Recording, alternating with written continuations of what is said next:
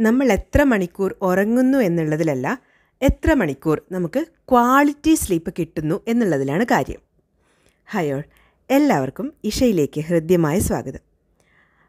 രാത്രിയിൽ ഒരു ആറേഴ് മണിക്കൂർ നല്ല ഗാഠമായ ഉറക്കം കിട്ടിയാൽ തന്നെ ശരീരത്തിന്റെയും മനസ്സിന്റെയും ക്ഷീണമൊക്കെ മാറി പുതിയ ദിവസം നല്ലൊരു ഉന്മേഷത്തോടെ തുടങ്ങാൻ നമുക്ക് പറ്റും.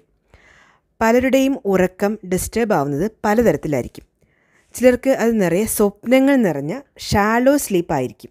ചിലരാവട്ടെ തുടർച്ചയായിട്ടുള്ള ഉറക്കം ആറു മണിക്കൂർ കിട്ടാത്തവരായിരിക്കും. അതായത് ഒന്നോ രണ്ടോ മണിക്കൂർ കഴിയുമ്പോഴത്തേനും ഉറക്കം ഒന്ന് ഞെട്ടും അവർ അപ്പോൾ കണ്ടിന്യൂസ് സ്ലീപ്പ് അവർക്ക് മിസ്സാവും ഇനി വേറെ ചിലരുണ്ട്. അവർക്ക് ലേറ്റായിട്ടേ ഉറക്കം വരുള്ളൂ. എത്ര നേരത്തെ ഉറങ്ങാൻ കിടന്നാലും ഒരുപാട് മണിക്കൂറുകൾ കഴിഞ്ഞ് രണ്ട് മണിക്കോ മൂന്ന് മണിക്കോ ഒക്കെ ആയിരിക്കും പുലർച്ചയ്ക്ക് ഉറങ്ങുണ്ടാവുക അപ്പോൾ ഇങ്ങനെയൊക്കെ പലതരത്തിലുള്ള ഡിസ്റ്റർബൻസും ആൾക്കാർക്ക് ഉറക്കത്തിൽ വരാറുണ്ട്.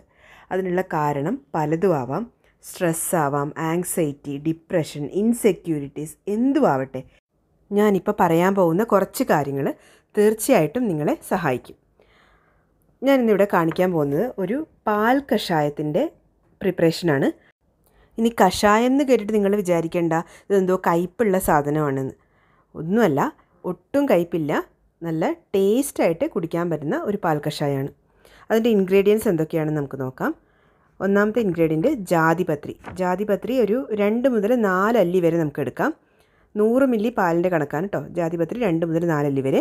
കൽക്കണ്ടം ഒരു ടീസ്പൂൺ അത് നിങ്ങളുടെ മധുരത്തിനനുസരിച്ചിട്ട് കൂട്ടുകയോ കുറയ്ക്കുകയോ ചെയ്യാം. പാൽ നൂറ് മില്ലി വെള്ളം നൂറ് മില്ലി ഇനി ഇതെങ്ങനെയാണ് ഉണ്ടാക്കുന്നത് നമുക്ക് നോക്കാം. ആദ്യമായിട്ട് ഈ ജാതിപത്രിയും കൽക്കണ്ടവും കൂടെ നമുക്ക് നൂറ് മില്ലി വെള്ളത്തിലിട്ടിട്ട് തിളപ്പിച്ചെടുക്കാം. ജാതിപത്രി ഒന്ന് ജസ്റ്റ് ഒന്ന് വേവണം. അത് വെന്ത് കഴിയുമ്പോഴത്തേനും നമുക്കതിലേക്ക് നൂറ് മില്ലി പാലും കൂടെ ചേർക്കാം. അതിനുശേഷം ഇത് നന്നായിട്ടൊന്ന് കാച്ചി കുറുക്കിയെടുക്കുക. പാലളവായിട്ട് ഏകദേശം ഒരു പാലളവായിട്ട് കുറുക്കിയെടുക്കുക. അതായത് ഏകദേശം ഒരു പകുതിയോളം പറ്റുന്ന രീതിയിൽ കുറുക്കിയെടുക്കുക. എന്നിട്ട് ഇതിനെ അരിച്ചെടുത്ത് കഴിഞ്ഞാൽ പാൽ കഷായമായി വളരെ സിമ്പിളായിട്ടുള്ള മെത്തേഡാണ്. അത് ഇളം ചൂടോടെ കുടിക്കാം. ഇനി ഇത് ചെയ്തതുകൊണ്ട് മാത്രം ഉറക്കം നന്നായിട്ട് കിട്ടും എന്നല്ല കേട്ടോ. ഇതിന്റെ കൂടെ ചെയ്യേണ്ട മൂന്ന് കാര്യങ്ങളും കൂടി ഉണ്ട്. ഇതും കൂടെ ശ്രദ്ധിക്കുക. ഒന്നാമത്തെ കാര്യം ഉറങ്ങുന്നതിന് ഒരു മണിക്കൂർ മുന്നേ തന്നെ ഫോണിന്റെ ഉപയോഗം നിർത്തുക.